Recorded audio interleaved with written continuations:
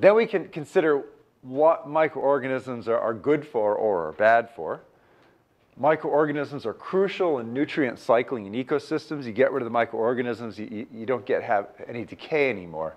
If you don't have decay, then you lock up essential um, elements into um, the dead matter in ecosystems, and the ecosystem stops being able to function because basically the ecosystems need the recycling of elements within them, and uh, the microbes are crucial for that recycling. Uh, microbes cause diseases. We have, in fact, associated with our bodies a huge number of microorganisms. Something like 10 times or more cells that are microorganisms associated with our bodies and our body's own cells.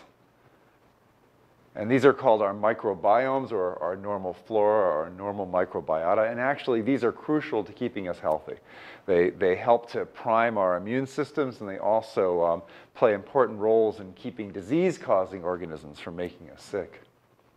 Um, where did life come from? The original organism almost certainly was a microorganism uh, things started out small and simple and then got complicated. And in fact, as we go talking about the fungi and the plants and the animals, um, we'll be talking about um, uh, basically how things get more complicated.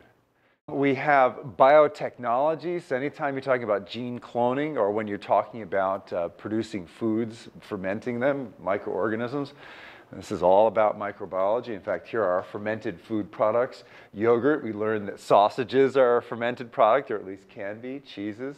Solvents, so uh, organic solvents, uh, many are made uh, via um, the action of microorganisms. Uh, uh, most living things on Earth are microorganisms.